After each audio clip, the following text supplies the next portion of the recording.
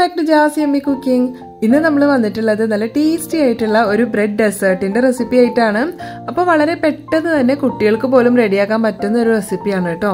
അപ്പോൾ ഇതൊരു no fire റെസിപ്പിയാണ് ഇതിലേക്ക് കുക്കിംഗ് ഒന്നും ചെയ്യുന്നില്ല. നമ്മൾ ചേർത്ത് കൊടുക്കുന്ന ഇൻഗ്രീഡിയൻസ് ഒക്കെ വെച്ചിട്ട് വളരെ പെട്ടെന്ന് റെഡിയാക്കാൻ പറ്റുന്നതാണ്. അപ്പോൾ തണുപ്പിച്ച് കഴിഞ്ഞിട്ട് കഴിക്കുമ്പോൾ നല്ല അടിപൊളി ടേസ്റ്റാണ് കേട്ടോ.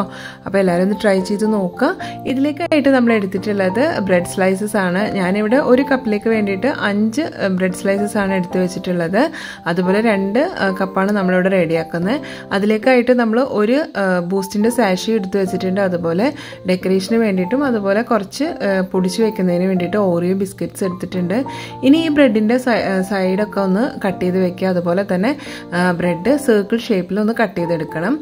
ഇനി നമുക്ക് ഇതിലേക്ക് ചേർത്ത് കൊടുക്കുന്നത് കിറ്റ്കാറ്റ് ആണ് കേട്ടോ. അപ്പോൾ കിറ്റ്കാറ്റിന്റെ ഇതുപോലത്തെ ബാസ് എടുത്ത് വെച്ചിട്ടുണ്ട്.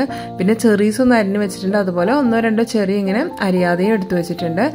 ഇനി വേണ്ടത് വിപ്പിംഗ് ക്രീമാണ്. അപ്പോൾ ഒരു കപ്പ് വിപ്പിംഗ് ക്രീം എടുത്തിട്ടുണ്ട്. ഇതുപോലെ നന്നായിട്ടൊന്ന് ബീറ്റ് ചെയ്ത് നല്ല സ്റ്റിഫ് പീക്സ് ആയിട്ട് വരുന്നവരെ ഇതൊന്ന് ബീറ്റ് ചെയ്തെടുക്കുക. അപ്പോൾ അതുപോലെ നമ്മൾ എടുത്ത വിപ്പിംഗ് ക്രീമിന്റെ ഡബിൾ ദ സൈസ് വന്നു കഴിയുമ്പോൾ നമുക്ക് അറിയാം അത് നല്ലതായിട്ട് സ്റ്റിഫായിട്ട് വന്നിട്ടുണ്ടെന്ന്.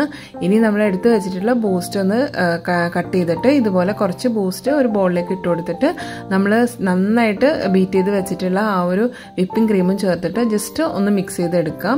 ഇനി നമ്മൾ ബാക്കി വരുന്ന കുറച്ചും കൂടിയിട്ട് ബൂസ്റ്റ് ഈ വിപ്പിംഗ് ക്രീമിന്റെ മിക്സിലേക്ക് ചേർത്തിട്ട് ജസ്റ്റ് അതിന്റെ ആ ഒരു തരിയോടെ തന്നെ കാണാൻ പാകത്തിന് ജസ്റ്റ് ഒന്ന് മിക്സ് ചെയ്ത് വെച്ചിട്ട് നമ്മൾ ഇതൊരു പൈപ്പിംഗ് ബാഗിലേക്ക് ചേർത്ത് കൊടുക്കുകയാണ് അപ്പോൾ പൈപ്പിംഗ് ബാഗിലേക്ക് ചേർത്ത് കൊടുക്കാൻ നേരം ഇതുപോലെ ഒരു ഗ്ലാസ്സിലേക്ക് പൈപ്പിംഗ് ബാഗ് ഇറക്കി വെച്ചിട്ട് ചെയ്യുവാണെങ്കിൽ കുറച്ചുകൂടി മീസിയാണ് കേട്ടോ. ഇനി ഇത് നന്നായിട്ട് നല്ല ടൈറ്റ് ചെയ്ത് ഇതൊന്ന് കെട്ടി മാറ്റി വയ്ക്കാം അതുപോലെ തന്നെ നമ്മൾ റെഡിയാക്കി വെച്ചിട്ടുള്ള വിപ്പിംഗ് ക്രീമും ഇതുപോലെ ഒരു പൈപ്പിംഗ് ബാഗിലേക്ക് നിറയ്ക്കേണ്ടതായിട്ടുണ്ട്.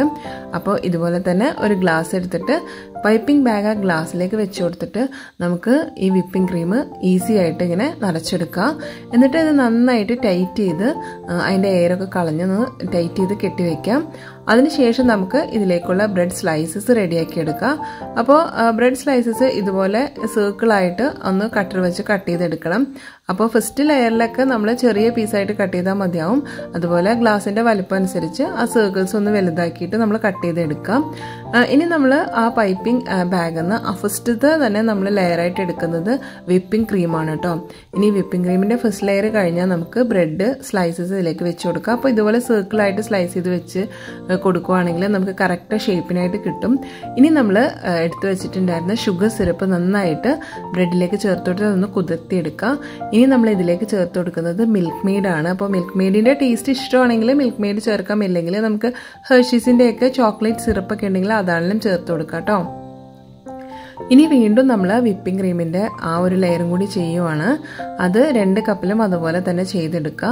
ഇനി നമ്മളിതിലേക്ക് ചെറീസാണ് ചെറീസ് ഇപ്പോൾ ചേർത്ത് കൊടുക്കുന്നത്. നിങ്ങൾക്ക് ഇഷ്ടമാണെങ്കിൽ വൈറ്റ് ചോക്ലേറ്റോ അല്ലെങ്കിൽ വേറെ ചോക്ലേറ്റ്സ് എന്തെങ്കിലും ചേർത്ത് കൊടുക്കണേ അങ്ങനെ ചേർത്ത് കൊടുക്കാം. നമ്മളിവിടെ ചെറീസ് ചേർത്ത് കൊടുക്കുകയാണ് അരിഞ്ഞ് വെച്ചിട്ടുണ്ടായിരുന്നു. അപ്പോൾ ഇനി വീണ്ടും ആ ബ്രെഡ് സ്ലൈസസ് വെച്ചതിന് ശേഷം നന്നായിട്ട് ഷുഗർ സിറപ്പിലൊന്ന് കുതിർത്തിയെടുക്കുക. അപ്പോൾ രണ്ട് കപ്പിലും ഇതുപോലെ തന്നെ ചെയ്തെടുക്കുക കേട്ടോ.